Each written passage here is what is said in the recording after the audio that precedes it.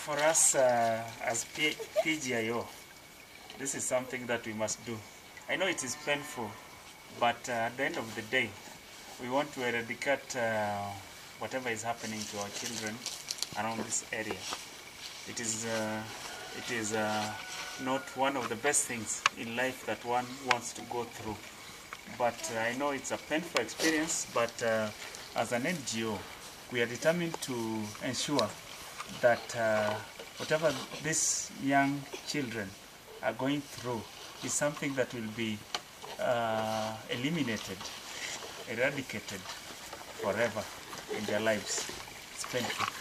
But uh, it's something that, uh, as, a, as a vision for organization, we must endeavor to do.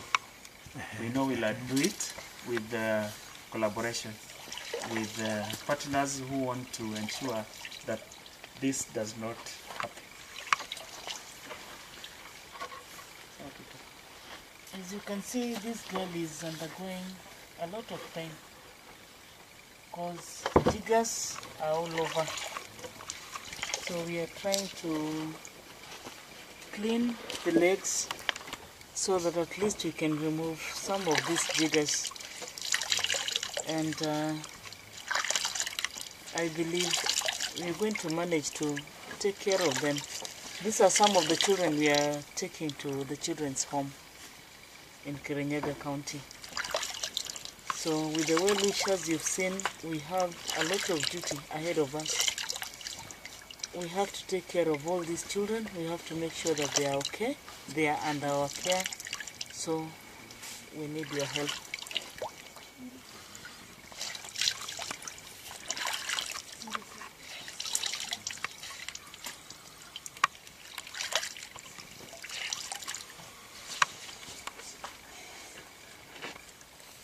Ngoja, ngoja Daudi.